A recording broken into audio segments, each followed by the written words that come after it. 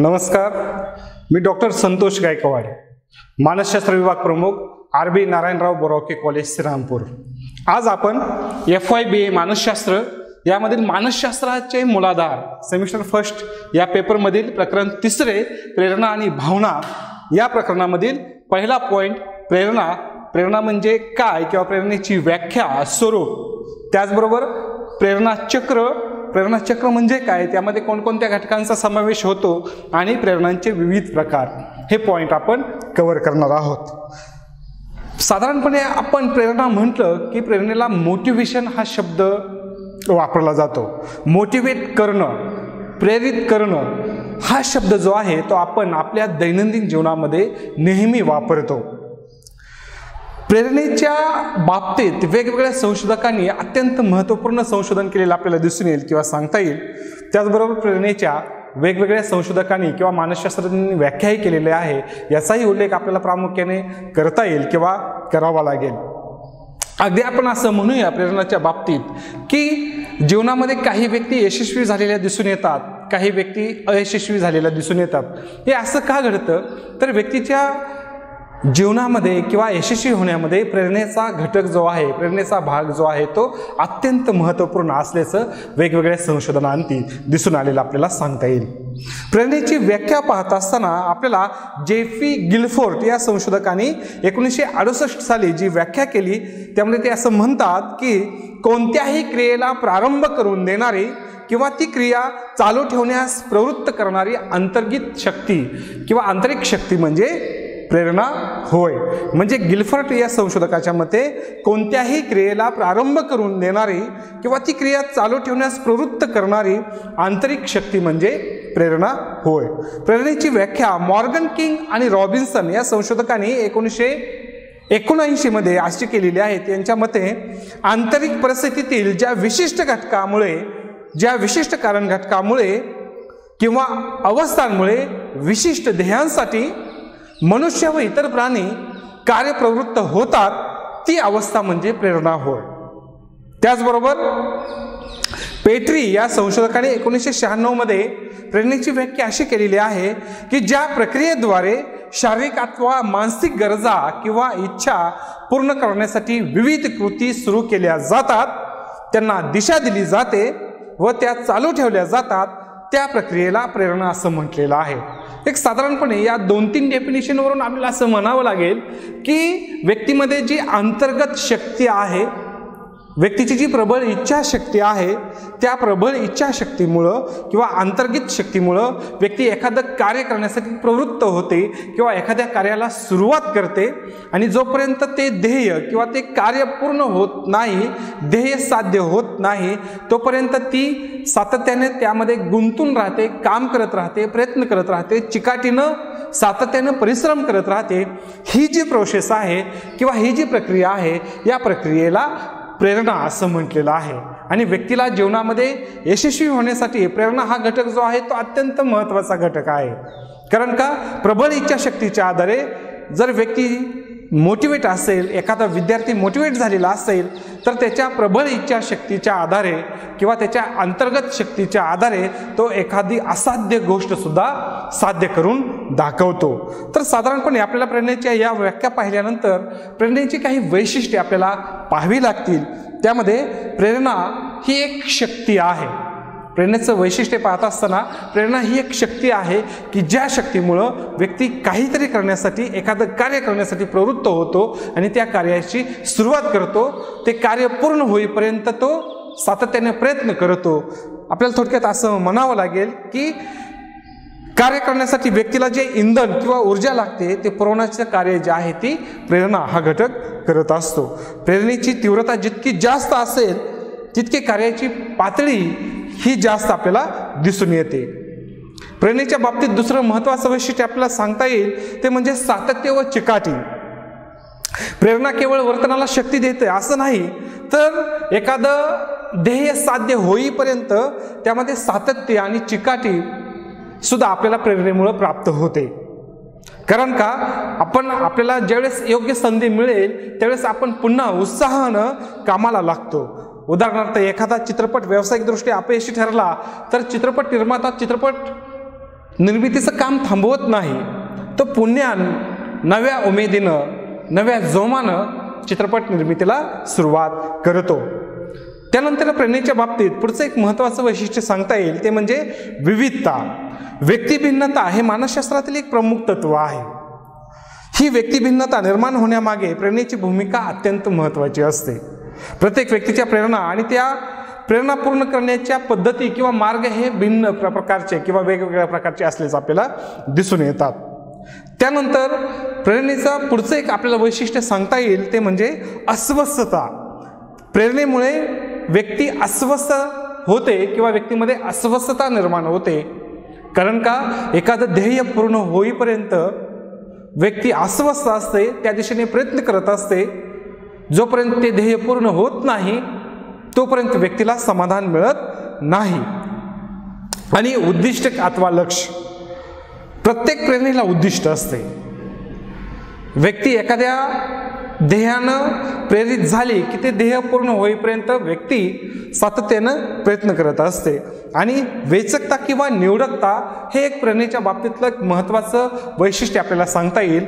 यामध्ये आपल्याला असं म्हणावं लागेल की अगदी आपण ठराविक गोष्टींवरती जास्त कॉन्सन्ट्रेशन करतो ज्याची आपल्याला गरज असते किंवा जे ध्येय आपण ठरवलेलं असतं त्या ध्येयावरती व्यक्ती आपलं कॉन्सन्ट्रेशन करत असतं. तर साधारणपणे आपल्याला या सहा वैशिष्ट्यांच्या आधारे प्रेरणेचं स्वरूपही समजून घेता येईल. थोडक्यात आपल्याला असं म्हणावं लागेल की प्रेरणा ही एक अशी शक्ती आहे जी व्यक्तीला कार्यप्रवृत्त करते. व्यक्तीमध्ये सातत्यता चिकाटी विविधता या गोष्टी प्रेरणेमुळं टिकून राहतात. आणि ज्या व्यक्तीमध्ये प्रेरणा उच्च दर्जाची असते अशा व्यक्ती एखादं ध्येय कमी वेळात यशस्वीपणे पूर्ण करण्याची शक्यताही इतरांपेक्षा जास्त असते असं वेगवेगळ्या संशोधनांती आपल्याला दिसून आलेलं आहे. त्यानंतर प्रेरणेमधील दुसरा महत्त्वाचा भाग आपल्याला कव्हर करायचा आहे तो म्हणजे प्रेरणा चक्र. प्रेरणाचं स्वरूप हे चक्राकार पद्धतीचं आहे. यामध्ये प्रमुख चार घटकांचा समावेश होतो. ते चार घटक कोणकोणते? तर एक तर पहिला घटक जो आहे तो प्रसादना अवस्था प्रचोदना अवस्था दुसरा आहे साधक वर्तन तिसरं उद्दिष्ट प्राप्ती आणि चौथा आहे समाधान. म्हणजे व्यक्तीच्या जीवनामध्ये प्रेरणा निर्माण झाल्यानंतर हे चार घटक जे आहे ते चार घटकाच्या माध्यमातून हे प्रेरणाचक्र जे आहे ते पूर्ण होत असतं. यामध्ये साधारणपणे प्रचोदना अवस्था किंवा प्रेरणा याला शारीरिक गरजा किंवा बाह्य उद्दीपक असं म्हटलेलं आहे. ज्यावेळेस व्यक्तीमध्ये काहीतरी करून दाखवण्याची प्रेरणा निर्माण होते किंवा कशाच तरी प्रेरणा निर्माण होते त्यावेळेस त्या दिशेनं व्यक्तीचं वर्तन सुरू होतं. व्यक्ती त्या दिशेने प्रयत्न करायला सुरुवात करते. त्याला आपण साधक वर्तन असं म्हटलेलं आहे. आणि प्रयत्न केल्यानंतर व्यक्तीला उद्दिष्ट प्राप्त होते आणि उद्दिष्ट प्राप्ती झाल्यानंतर व्यक्तीला समाधान मिळतं. तर या पद्धतीनं प्रेरणेचं चक्र जे आहे हे चक्र चार घटकांच्या आधारे सुरू असतं असं आपल्याला म्हणावं लागेल. मॉर्गन आणि किंग या संशोधकांनी या प्रेरणा चक्रालाच बोधात्मक प्रेरणा चक्र असंही म्हटलेलं आहे. कारण संकीर्ण प्रेरणाच्या प्रतीसाठी मानवाचे विचार संवेदन स्मरण नियोजन किंवा निवड यासारखे बोधात्मक घटकही खूप महत्त्वाचे असतात. तर व्यक्तीच्या जीवनामध्ये प्रेरणाचक्र जे आहे ते विविध घटकांच्या माध्यमातून विविध घटकांसाठी विविध देहांसाठी नेहमी सुरू असतं. तर या प्रेरणाचक्रानंतर प्रेरणेच्या बाबतीत काही मुख्य प्रकारही आपल्याला सांगता येतील. ते प्रकार कोणकोणते आहेत? तर यामध्ये पहिला प्रकार त्यांनी सांगितलेला आहे तो म्हणजे शारीरिक प्रेरणा. दुसरा प्रकार सांगितलेला आहे सामाजिक प्रेरणा. तिसरा प्रकार सांगितलेला आहे सामान्य किंवा मनोजन मनोजन्य प्रेरणा. आणि चौथा प्रकार जो आहे तो अबोध प्रेरणा. तर प्रेरणांच्या प्रकारामध्ये आपल्याला प्रामुख्याने शारीरिक प्रेरणांमध्ये कोणकोणत्या प्रेरणांचा समावेश होतो? तर यामध्ये भूक असेल तहान असेल झोप असेल आणि लैंगिक प्रेरणा यांचा समावेश शारीरिक किंवा प्राथमिक प्रेरणामध्ये केलेला आपल्याला दिसून येईल किंवा सांगता येईल. प्रेरणेचा दुसरा जो प्रकार सांगितलेला आहे तो म्हणजे सामाजिक प्रेरणा. सामाजिक प्रेरणेमध्ये आपण अगदी असं म्हणूयात की संलग्नता प्रेरणा असेल आक्रमकता प्रेरणा असेल सत्ता प्रेरणा असेल संपादन प्रेरणा असेल हे प्रेरणेचे सामाजिक प्रकार आपल्याला सांगता येतील. त्यानंतर प्रेरणेचा तिसरा मुख्य जो प्रकार आहे त्यामध्ये सामान्य आणि मनोजनन प्रेरणा असं म्हटलेलं आहे. यामध्ये मग क्रिया व्यापार असेल कुतूहल असेल हस्तोपयोजन असेल आणि शोधन असेल. या प्रकारांचा समावेश होतो आणि पुढचा मुख्य प्रकार जो सांगितलेला आहे त्याला आपण अबोध प्रेरणा असं म्हटलेलं आहे. साधारणपणे व्यक्तीच्या प्राथमिक स्वरूपाच्या ज्या काही प्रेरणा आहेत त्यामध्ये मग भूक तहान असतील झोप विश्रांती किंवा लैंगिक प्रेरणा असतील ज्या पूर्ण जर झाल्या नाही तर व्यक्तीच्या वर्तनामध्ये बिघाड झालेला आपल्याला दिसून येतो. म्हणजे या प्रेरणा ज्या आहेत त्या पूर्ण होणं व्यक्तीच्या स्वास्थ्यासाठी किंवा उत्तम चांगल्या प्रकारचं आरोग्य जग जगण्यासाठी अत्यंत महत्त्वाच्या असलेलं आपल्याला सांगता येईल. यामध्ये लैंगिक प्रेरणेचा सुद्धा समावेश केलेला आहे.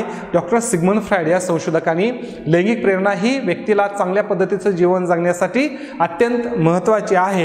हे वेगवेगळ्या संशोधनातून त्यांनी सांगितलेलं आहे. अगदी आपल्याला असं म्हणता येईल की त्यांच्या व्यक्तिमत्वाच्या मनोविश्लेषणात्मक सिद्धांतामध्ये त्यांनी जे मनाचे तीन स्तर सांगितलेले आहेत पूर्व बोधावस्था बोधावस्था आणि अबोधावस्था हे घटक सुद्धा मानसशास्त्रीय संशोधनामध्ये अत्यंत महत्त्वाचे घटक किंवा व्यक्तिमत्वाच्या ज्या तीन रचना किंवा जे तीन महत्त्वाचे घटक सांगितलेले आहेत इदम अहम पराहम हे घटकसुद्धा व्यक्तिमत्वाच्या बाबतीत किंवा व्यक्तीच्या वर्तनाच्या अभ्यासाच्या बाबतीत खूप महत्त्वपूर्ण असल्याचं आपल्याला सांगता येईल. तर प्रेरणेचे हे प्रकार त्यामध्ये प्रामुख्याने मग शारीरिक किंवा प्राथमिक प्रेरणा सामाजिक प्रेरणा मनोजन्य प्रेरणा किंवा सामान्य प्रेरणा आणि अबोध प्रेरणा हे व्यक्तिमत्वाच्या व्यक्तीच्या प्रेरणांचे प्रकार आपल्याला सांगता येतील.